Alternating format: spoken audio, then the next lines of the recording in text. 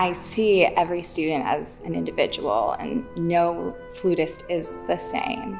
It's important to embrace them as they come and help guide them towards the ultimate goal that they have.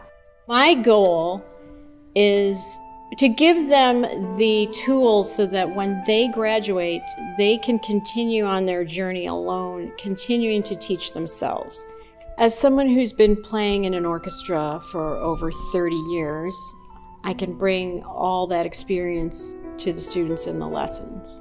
It's a unique situation having current orchestra members teaching here from the Cleveland Orchestra.